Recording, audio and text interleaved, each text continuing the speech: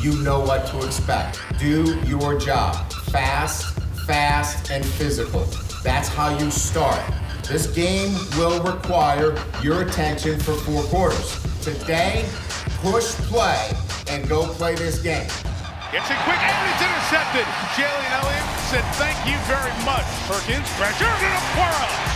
Collapsing pocket, the sixth sack for the Irish today. Edge pressure, got him again.